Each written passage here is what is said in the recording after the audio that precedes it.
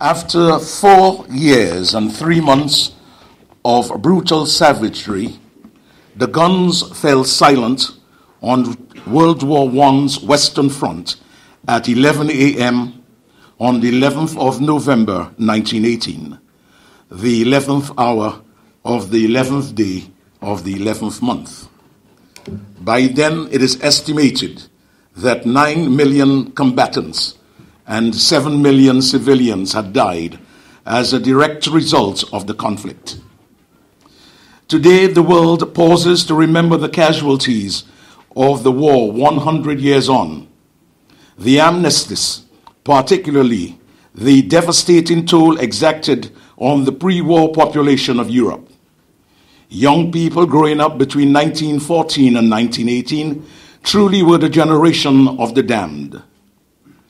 France and Germany lost over 4% of their pre war population, and by some estimates, the Ottoman Empire could have lost more than 16%. The wearing of a red paper poppy ahead of Armistice Day, November 11th, commemoration of the end of the First World War, is a symbol resulting from the wild poppies on the battlefields of Flanders, not so far from Brussels, inspiring the 1915 poem In Flanders Fields. It's part of literature inspired by the Great War. Despite a century after armistice that ended World War I, the fighting against evil endures. The sentinel of the end of the Great War is a vivid reminder of the toll taken on populations with millions left dead and the sacrifices paid by many courageous servicemen in the name of freedom. That includes West Indians, among them St. Lucians, who fought gallantly and died on lands a world away. The war to end all wars did not l- live up to its moniker, and 20 years later, Adolf Hitler marched into Poland, sparking a second horrific global conflict that would leave Europe in ruins and claim millions of more lives. The freedom and liberty that we enjoy was born out of the post war international liberal order, underpinned by the multilateral organizations forged to ensure peace. But now they are fixtures to that construct that brought us the transatlantic alliance of shared values. The fraying ties are symptomatic of the embrace of right wing populism and nationalism across the world by a working class fell left behind by globalism. Moreover, the existing world order and the building blocks of the international system seem to be increasingly under attack. Surprisingly, from the from world leaders who on paper represent the traditional guardians of that global order. War weary populations fatigued by the counter terrorism battles against radical extremism and interventionism and overwrought with the economic anxiety of income inequality, now long for the erection of the, a wall of xenophobic barriers and protectionism.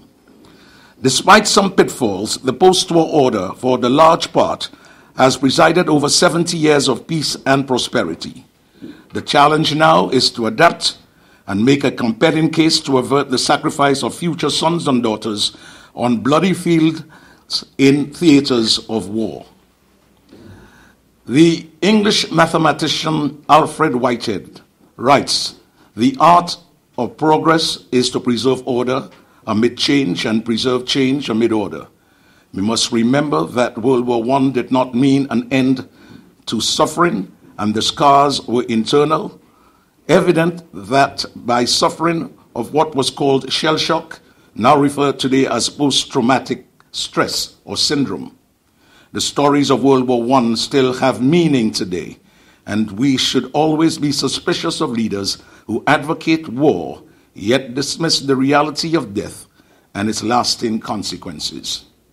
Ladies and gentlemen, to welcome you here today to this commemoration, I now introduce to you the Secretary of the ex Commonwealth Service League, or the Commonwealth ex Service League, Mr. Earl Francis. It is an honor and privilege as Secretary of the St. Lucia branch of the Royal Commonwealth Ex-Service Legion to welcome you to the annual observance of, of Veterans Remembrance Day activities.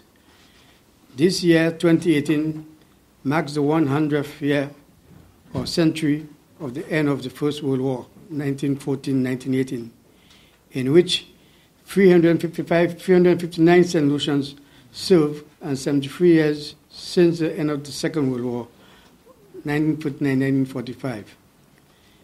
The British War Office initially argued that the West Indian soldiers were needed for the defense of their own islands. As the war widened, it was argued that they be sent to Egypt to fight the Turks or use a garrison the West African territories captured from Germany. The War Office proved indecisive, and both and the Colonial Office insisted the matter be resolved by the other public opinion in the Caribbean was growing increasingly restive. However, demanding to know why the services of his young men were being rejected, King George V, who favored the West Indian, put the War Office in action, and the Secretary of State for War, Lord Kitchener, agreed to the raising of the West Indian contingent in addition to the already existing West Indies Regiment. The London Gazette announced His Majesty the King is graciously pleased to approve the foundation of a corps from contingents of the inhabitants of the West India Islands to be entitled the British West Indies Regiment. British West Indies Regiment recruiting for the new office began in the autumn of 1915. The main objective of the Royal Commonwealth Ex-Service Legion is to look after the welfare of St. Lucians, veterans, the widows, widowers, and their families, as well as the need of the ex-servicemen and women who sacrificed their lives for their own country. Most of them are now in the late 80s and 90s and are unable to fend for themselves and are in need of assistance. The price paid by these many young valiant soldiers must not be forgotten or concerned to the recesses of the minds of those who live it as their numbers diminish in the passes on. As we gathered here on this Sunday, on this 11th day of the 11th month of the year 2018, let us not be convoc- convocation be viewed as an academic or ritual ex- ex- exercise in the absence. I must say um, there were 15,601 men from the colony who went to First World War. Out of that, we had 359 St. At least only 59 came back from our contingent. And secondly, the oldest veteran who is still alive, who served in Egypt and Italy and whatnot, Mr. Haynes Cyril, will be 97 tomorrow. And he's now in Martinique representing St. Lucia at the French function. Archduke Franz Ferdinand of Austria was assassinated by a Serbian nationalist in Sarajevo, Bosnia. An escalation of threats and mobilization orders followed the incident, leading by mid August to the outbreak of World War I, which pitted Germany, Austria Hungary, and the Ottoman Empire, the so called Central Powers, against Great Britain, France, Russia, Italy, and Japan, the Allied powers. The Allies were joined after 1917 by the United States. The four years of the Great War, as it was then known, saw unprecedented levels of carnage and destruction. Thanks to grueling trench warfare and the introduction of modern weaponry such as machine guns, tanks, and chemical weapons. By the time the war ended, in the defeat of the Central Powers in November of 1918, more than 9 million soldiers had been killed and 21 more, million more wounded. The Treaty of Versailles, signed in 1919, determined post war borders from Europe to the Middle East, established the League of Nations as an international peace organization, and punished Germany for its aggression with repatriations and the loss of territory. Tragically, the instability caused by World War I would help make possible the rise of Nazi leader Adolf Hitler and would only two decades later lead to a second devastating international conflict. To address you now, ladies and gentlemen, in the absence of the president of the league, who is in Martinique, as you have been told before, is past the president, Mr. Reginald Cherubin. As you know, we came here especially to commemorate the First World War and the Second World War. But the First World War, we were hoping that we'll never have another war. I recall when I was in Trinidad on a similar occasion like this, we went to church and we went to pray. And at that time, it was that famous, I'm sure some of you all know him, the famous Finbar Ryan, Archbishop of the Western, of, uh, of the Windward Islands and Trinidad. And at that ceremony, I remember him preaching about there you are, you come here to pray for the war, and this is going to end that all wars, 1914-18 war. And here today you come back here. Are you going to come back in the next 25 years? I hope not.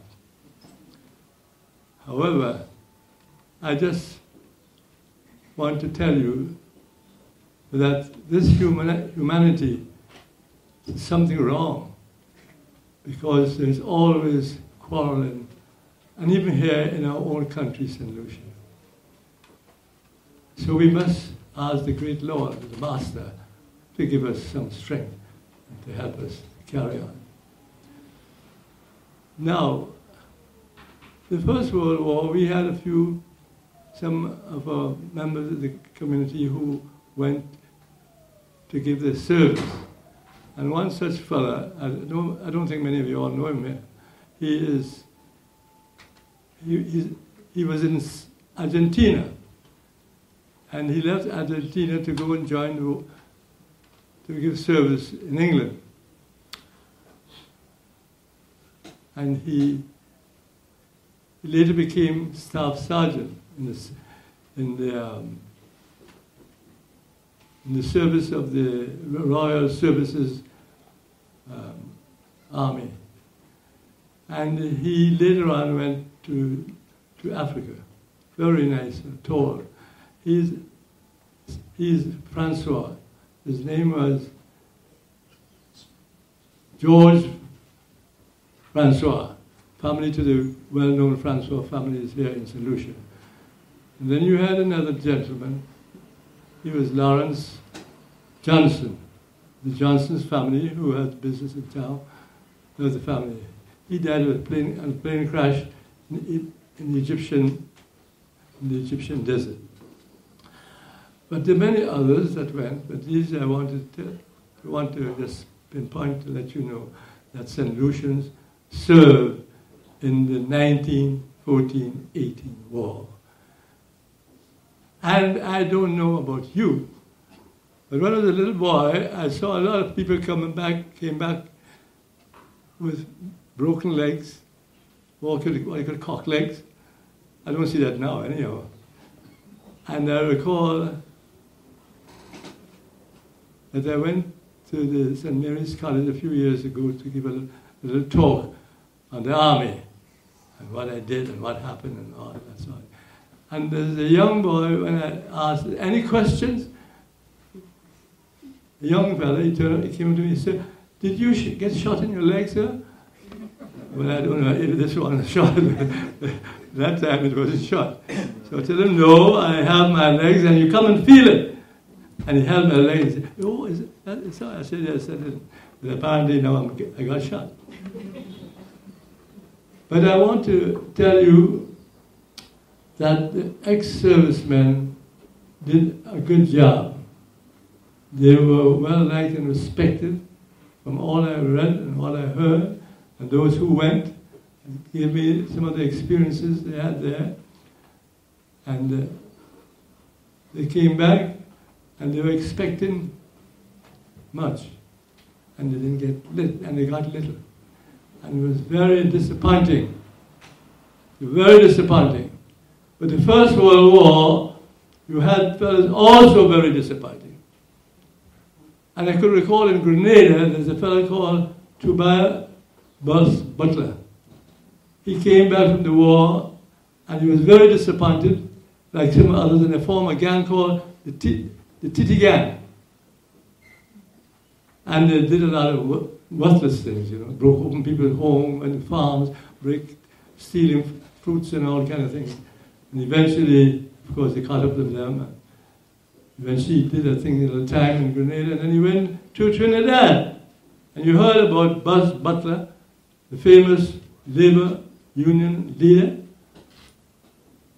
And th- th- I think he got his strength from being in the army. And he went, he, formed, he, was, he became a member of the parliament, of the government of Trinidad. And he did a wonderful job for those poor people, uh, particularly the labor leaders, the labor people. So most of us, some of us at least, who have come back from the army, have been trained from the army, have carried on with the discipline that it gave to us. And it's very good to know that some of the members of the ex-servicemen held good positions after they came back home. You remember La Corbiniere, Dr. La Corbiniere? He was in the Air Force, and you had um, many other people who was in the army and came back and served their country. I would like to point out, though, for the Caribbean, that we had a, one of the great leaders of the Caribbean called. Uh, he went. He went. He was in Egypt, and he became a prime minister of Jamaica. Nobody remembers his name. Not Bustamante. Not Bustamante. Famous Jamaican name. The son became Prime Manley. Manley. Then you had a Trinidadian um, in the Air Force. He was a, a judge in Africa. He's, he's passed away since. And you had my good friend in Barbados, Errol Barrow, who also served in the Air Force. So you had a lot of people who went, served, and came back and held big posts in the, in the islands, in the Caribbean. Now, I don't want to be long because I know you need a little song. And I know that you're waiting for that. But I want to ask you, please, let the rest of us who, who have remained, it would be very nice if you continue, or if you did, contribution to help some of the families, the old wives, and some of the old boys like me. And um, ask you, please, to think of, as we said in, in the famous poem, remember us, remember us, remember us. And we now ask everybody to sing a well-known song. Yes, I want everybody to get together so we and sing. I don't want to sing only, I want everybody to sing. And it is called We Are All Together Again. It's page 13. Ready?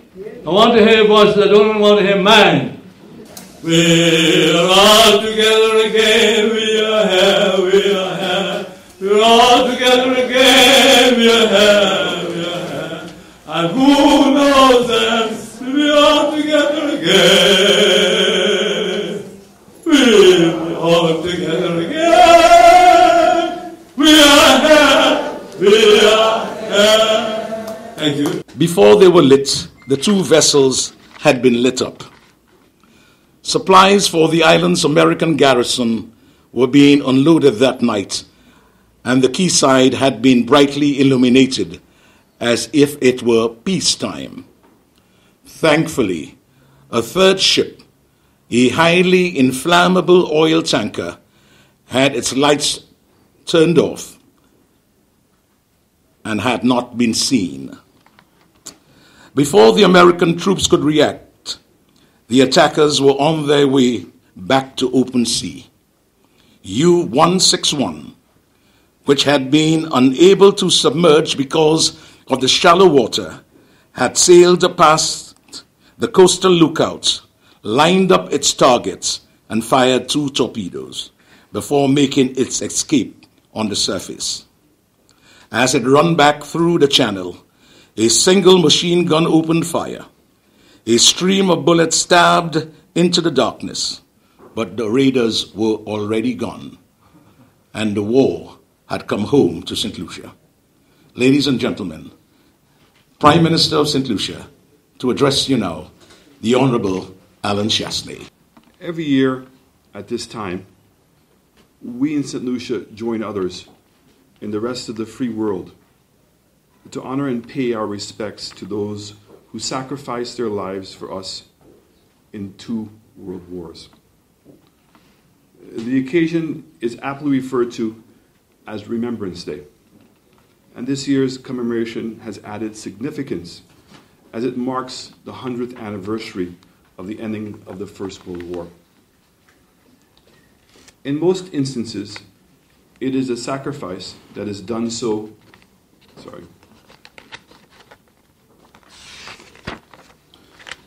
Exactly 100 years ago this Sunday, a treaty came into force ending fighting on land, sea, and air between Allies and their opponent, Germany. 100 years later, Remembrance Day continues to be an occasion for great international nostalgia as we reenact somewhat that moment in time when nations stood toe to toe to defeat a mighty enemy. It was a costly conflict that resulted in more than 15 million fatalities.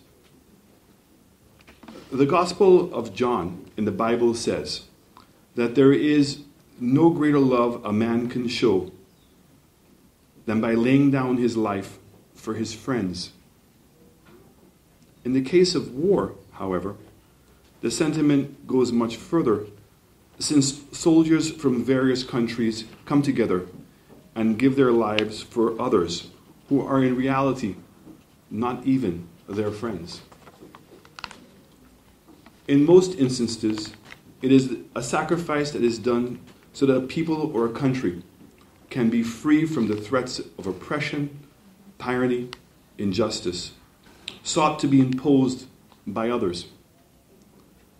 The significance of those two great conflicts should never be lost on us. They are causes worth fighting for. Huge ceremonies are taking place throughout Europe and the rest of the world this Sunday as old friends and enemies come together to remember these conflicts and the sacrifices, both human and national, that were made in the cause of peace and freedom. Here in St. Lucia, we should regard these annual gatherings with more than just passing interest or just another item on our calendar of events. I make this point to draw attention to the part played by St. Lucians in both world wars. I do not believe that we have ever in this country paid adequate tribute to our countrymen and women who not only served in these conflicts, but in fact lost their lives on the battlefields of faraway places, fighting for the freedom that we enjoy today. Had they not made this sacrifice and helped our lives may and helped, our lives may have been vastly different from what it is today. So on this Remembrance Day, as indeed on every Remembrance Day in the future, all of us must ponder and recognize those St. Lucians who died for our sake. Their names are etched on the memorial that stands in Derek Walcott Square. But how many of us know of them? All told, 359 St. Lucians were among more than 15,000 West Indians enlisted in the British Army. All the evidence indicates that St. Lucians served bravely. There are still a handful of World War II veterans among us. Their welfare is part of the portfolio of the St. Lucia Ex Service League. Every year, we sell poppies as part of the fundraising efforts for our war veterans and to assist their dependents, widows, and orphans. But we could never pay back enough for the sacrifices which these men and women made on our behalf. Our respect should be more than the sale of poppies or a moment of silence in their honor. Maybe, maybe, we should cherish their sacrifice by making a determined effort ourselves to live in peace and harmony, one with the other, because it is the lack of understanding and cooperation among men and women which breeds war and conflict. We must always remember that our welfare as a people is forever entwined and that there is a greater merit in seeking unity and consensus rather than confusion and chaos. If there is one conclusion in all this, it is in the often expressed hope that good always triumphs over evil. On this Remembrance Day, let us resolve first and foremost to forever foster peace among ourselves, to seek friendship and harmony at all times, and then attempt to replicate these principles in our Caribbean region and the rest of the world. I am truly humbled by today's events, and I thank you once again on behalf of the government for your service to your country and to the world. I don't want too much talking, so we want to sing again. We're going to sing Pack Up Your Troubles in the old kit bag, but we just sing the chorus, okay? That is page four. Pack up your troubles in a old kit bag and smile, smile, smile. Go to Lucifer to light your fire. Smile, boy, smile the star. What's the use of worrying? It never was that while. So, pack up your troubles in a old kit bag and smile smile, smile. No, we want another more singing. Let us have another one. Pack up your troubles and your and yes, I want to hear you. Oh, to light your fire, smile, the. What's the use of? It is my great privilege to be here today to join you for the annual reunion of the St. Lucia ex Service Legion. Today, we remember those who fought for Britain and her allies in two world wars. We remember those who volunteered, those who served, those who fought, and those who died, all for the cause of freedom in the fight against tyranny. We remember the debt we owe to those who came before us. It is an act of thanksgiving by the present to the past and of course, as we have heard today, Armistice Day marks 100 years since the end of the First World War. In the UK today, following the National Day of Remembrance service and the Royal British Legion's veteran dispersal and march past the cenotaph, 10,000 members of the public have been invited to march in a people's procession to give thanks and tribute to all those who served in, in the First World War, to secure the victory that helps shape the rights and privileges we all enjoy today. People will ring bells around the UK and the rest of the world as the British government, in collaboration with the German government, join to replicate the sp- spontaneous outpouring of relief that took place in 1918. As news of the armistice spread, church bells, which had fallen silent across the UK during the First World War, rang out in celebration. I am pleased to be able to tell you that this week our International Development Secretary announced that through UK aid, over 7,000 veterans of the Commonwealth who served the British Armed Forces and their widows and their widowers in over 30 countries, including St. Lucia, will from now on receive regular cash transfers to ensure that they will have two square meals a day every day.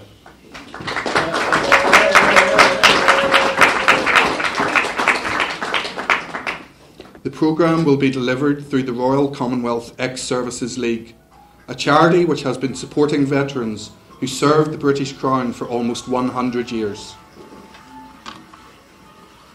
The Secretary of State for International Development, Penny Mordaunt, said, and I quote, We owe a tremendous amount to these Commonwealth veterans. It is absolutely right to make this commitment. I think the British public would approve of us pledging this support because of the sacrifices the Commonwealth veterans have made and because of the debt of gratitude we owe to them. Our Foreign Secretary, Jeremy Hunt, is also marking the World War, uh, World War I centenary by lending his support to the Forces charity There But Not There to honour over 3 million Commonwealth soldiers, sailors, airmen, and labourers who served. There but not there will install three six feet figures of First World War soldiers in the Foreign Office to represent the contribution of Commonwealth servicemen from the Caribbean, also from Africa, Asia, Australia, and Canada, to remind us of the stories of our Commonwealth heroes. Foreign Secretary Jeremy Hunt said, It is fitting that in this centenary year of the First World War, we honour the immense contribution of our Commonwealth soldiers. Their bravery was key to securing the Allied victory. These men fought thousands of miles from their homeland for a country they had never been to, but for a purpose that they believed in. This installation will honour their heroism. Today, of course, there remain threats to global peace and stability in the UK, across wider Europe, and globally. As we collectively seek to defeat those threats, we do so able to draw upon the experience, example, and inspiration of those who have gone before. Much of the world is free today because of the sacrifices made by our predecessors. Many will enjoy freedom into the future because of the sacrifices made by military, police, and civilian personnel deployed around the world today. And today, as we remember, we must focus not just on the fact that they fought, but why they fought and why those who strive to protect our freedom today, to enable people to live in a society that benefits from peace, security, opportunity, and prosperity. Servicemen and servicewomen have served across the years to create a society fit for all. In turn, that society should welcome, support, and protect our veterans when their service is complete. It is our responsibility to ensure that not only do we remember but that we take the opportunities created to develop a better society for the future. A society that creates opportunity for all and one that values our veterans. They are proud of their tradition and service. It is important that we are too. To say the words, lest we forget, is easy. To ensure we live up to those words is less so. It is right that we honour the memory of those who lost their lives and offer thanks for the service, loyalty, and sacrifice of those who have fought for the freedoms we enjoy today, and those whose service will continue to provide peace for others into the future. For the many St. Lucians and other Caribbean service personnel in Her Majesty's forces today, playing a vital role alongside other Commonwealth recruits in modern day conflicts, and especially in humanitarian relief efforts, such as we saw last year in the aftermath of Hurricanes Irma and Maria. A sincere thank you goes to the President, the former President as well, and all of the staff of the St. Lucia Ex Services Legion for the excellent work they do, they continue to do in supporting St. Lucian veterans and their dependents. I can't help but, you know, during the war, you were so inspired by a great man, one of the greatest orators in our time, Winston Churchill. I think everybody heard that. I heard everybody heard that name. Yes. And I always remember after the mashing up, have you seen the mashing up of London and those areas? And they formed the RAF, got together. And made us wonderful speech, saving London, saving England from invasion. Never in the field of human conflict was so much owed by so many to so few.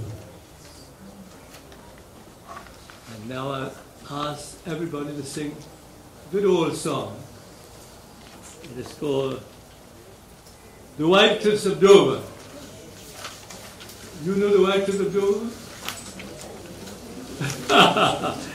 All right, we only sing it. Let's, let's start uh, on page 11. Page 11.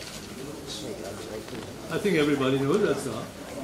There's a bluebird over the white cliffs of Dover. Tomorrow, just you wait and see. There'll be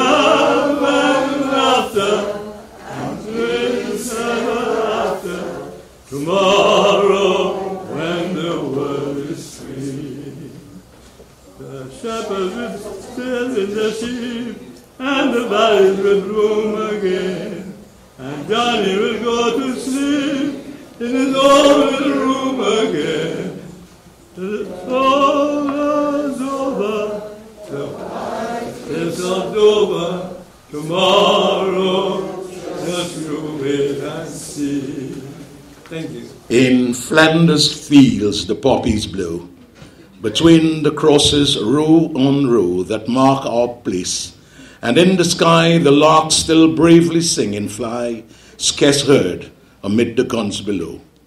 We are the dead. Short days ago we lived, felt dawn, saw sunset glow, loved and were loved, and now we lie in Flanders fields. Take up our quarrel with the foe.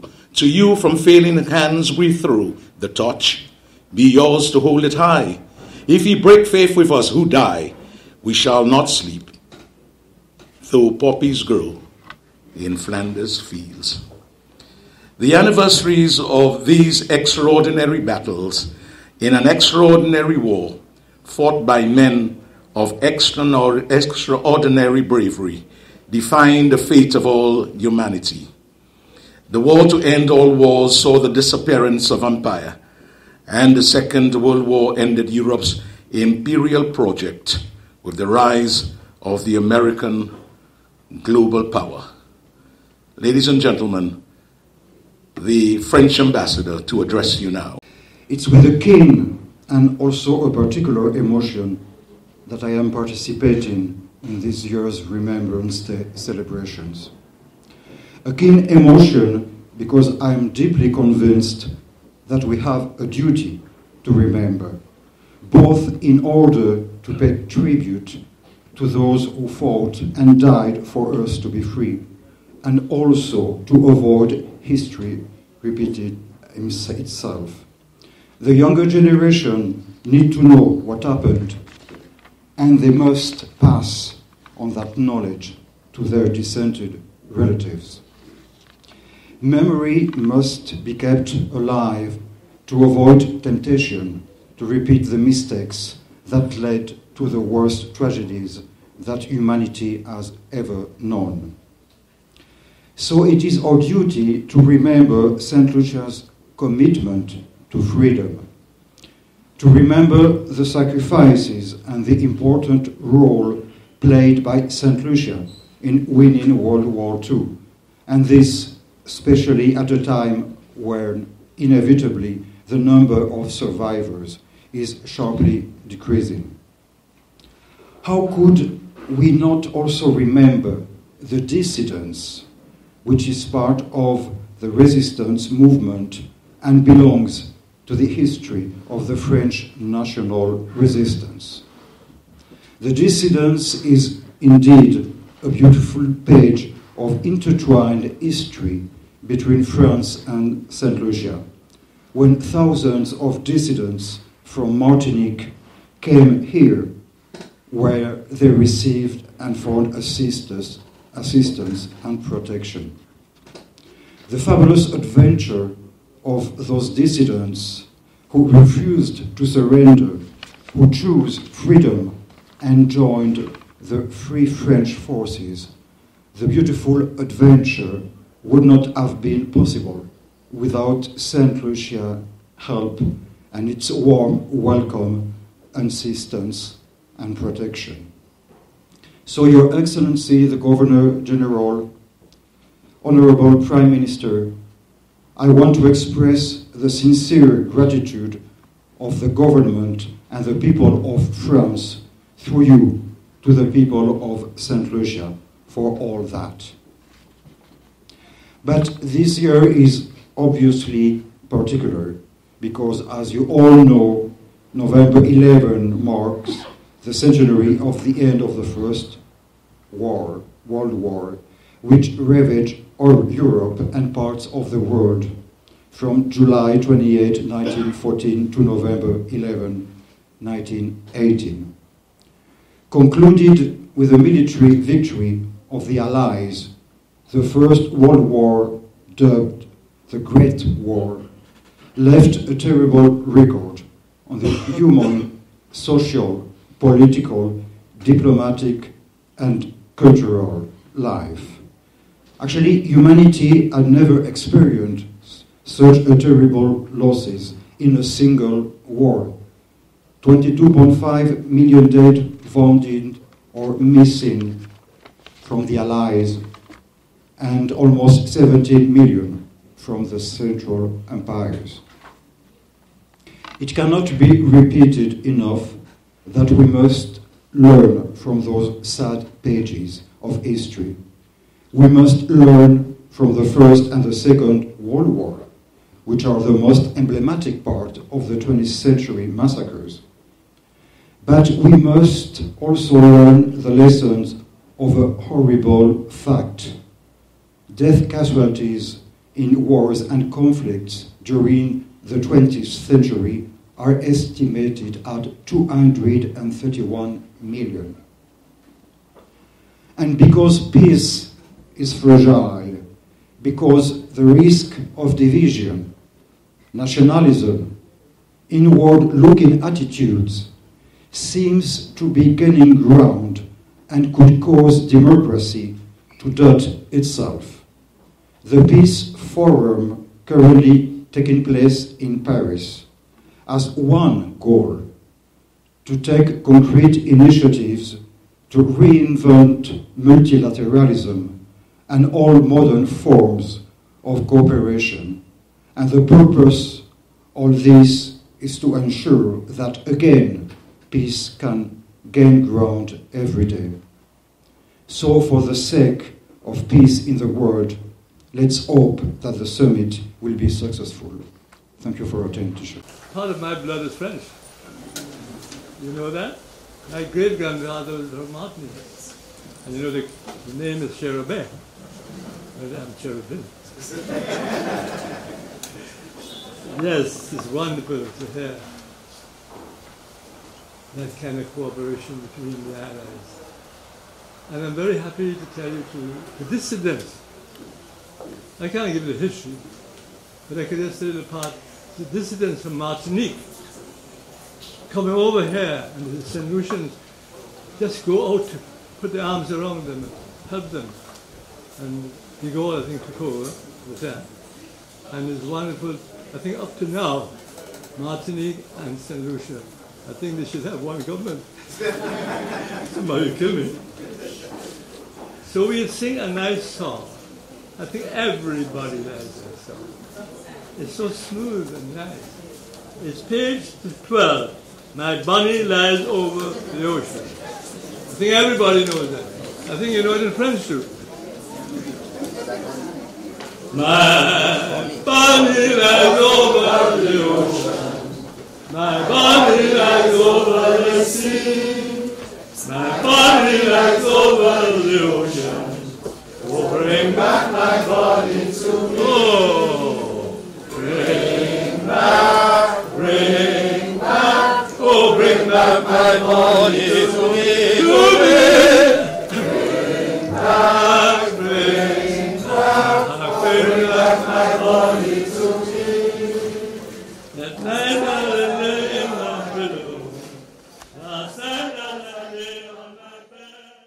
to peace, life, and prosperity. Ladies and gentlemen, let us drink. Hip hip hip! Hooray! Hip hip hip! Hooray! Hip hip hip! The annihilation of six million Jews in Nazi death camps. Before it was over, more than 60,000 or 60 million people had lost their lives. And the world entered the nuclear age when the United States dropped two atomic bombs on Japan in 1945.